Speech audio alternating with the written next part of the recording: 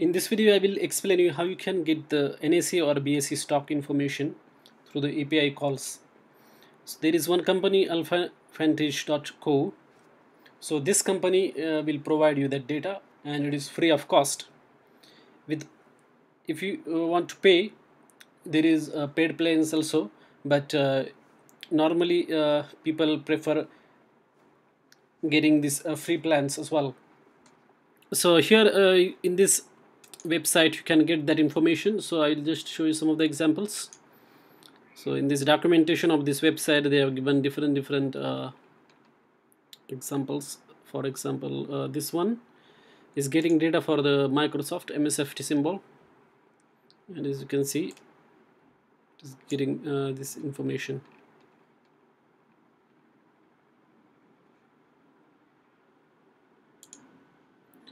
So once you uh, here uh, get the free API key you will have to sign up and then get the free API key. Once you get that all you have to do is you have to pass that particular API key here. Instead of demo you have to put there your key and then you will get this JSON information in the uh, like in the response you will get the JSON uh, data.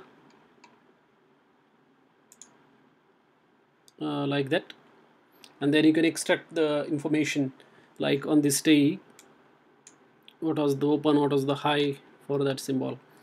So this how I'm using this particular API in my daily life is that uh, I got one server the web server running on AWS and then what I'm doing is I'm uh, consuming this data like firing this query this particular query that API I'm calling that API and uh, getting information for different different uh, stocks that I'm interested on BSE and NSE so here you can see that uh, I get an email every uh, week like on Saturday telling which stocks are down which stocks are up based upon uh, my target price. For example HDFC uh, Bank I had put the target of 2000 and right now the stock is available for 1200 around that price. So it is saying that it is down by 43% and uh, that is good indicator that I'm uh, going to go ahead and buy that particular stock. Similarly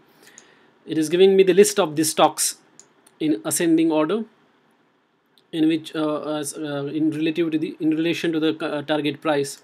So here you can see that uh, DMart is 33% up from the target price. So that is how uh, this information is very valuable for me to uh, do the trading. If you want to uh, get this kind of information uh, for yourself or if you want to get the customized alerts then you can uh, ask me uh, that in the comment section of this video and then I will help you. I will also help you set up this API key API code in your web server as well. Thanks for watching this video